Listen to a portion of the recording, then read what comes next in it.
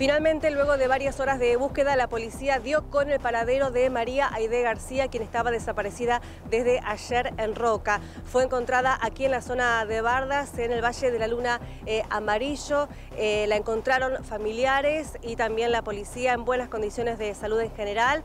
Eh, participó del operativo de búsqueda personal de la Unidad 48 de Mosconi, también personal de la Brigada de Investigaciones y personal del CIARME. Pudimos hablar hace instantes con el marido de Aide García también con familiares y con amigos que participaron activamente de la búsqueda. Está bien, está haciendo la clínica, la van a hidratar. ¿Y al parecer qué fue lo que pasó? ¿Salió a caminar? Eso no, sé, nada más.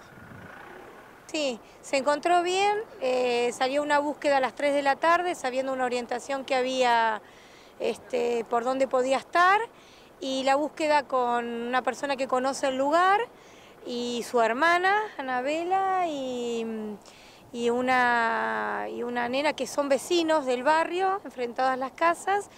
Salimos, como todos, salimos a, al encuentro, ellos los encontraron porque donde se deja el vehículo hay casi cuatro, eh, cuatro kilómetros de distancia. Y primero pensábamos que era el Valle de la Luna y en realidad sí es hacia el otro lado.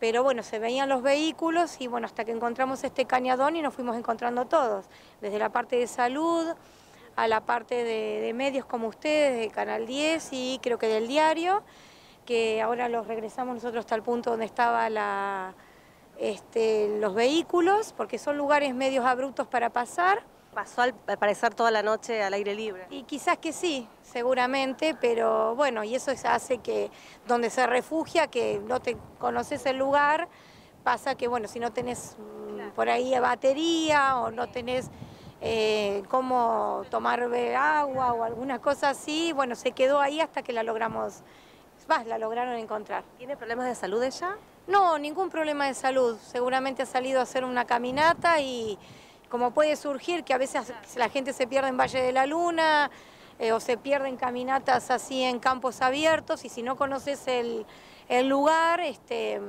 puede pasar, porque bueno, viste, los ruidos de la noche y demás. Pero todo bien. Gracias a ustedes por estar, ¿eh?